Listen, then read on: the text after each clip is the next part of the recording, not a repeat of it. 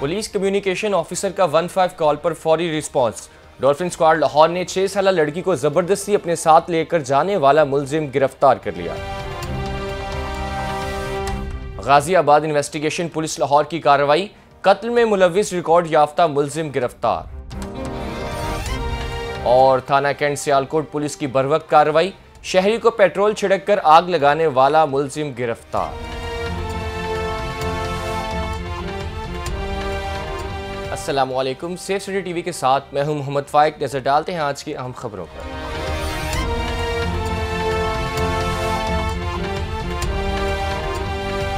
Police communication officer का one five की call पर फौरी रिस्पांस। डॉल्फिन स्क्वाड लाहौर ने छह साल लड़की को ज़बरदस्ती अपने साथ लेकर जाने वाला मुलजिम गिरफ़्तार कर लिया है।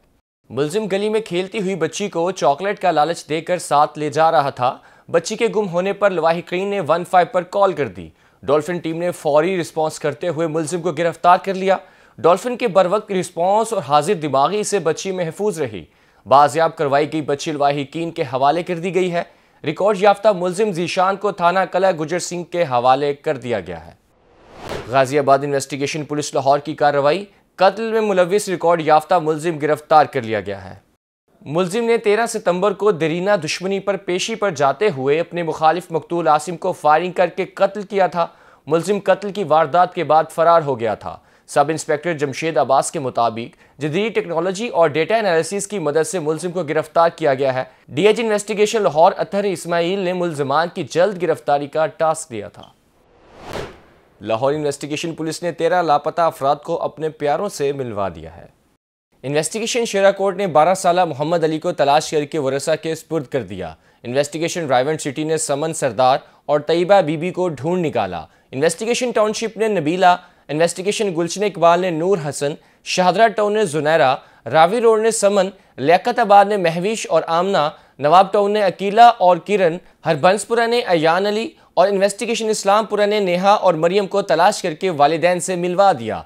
डीआईजी इन्वेस्टिगेशन अथर इस्माइल का कहना है कि लवाहकीन की दरख्वास्त पर उनके प्यारों को तलाश करना पुलिस की अवलिन तरजीह है।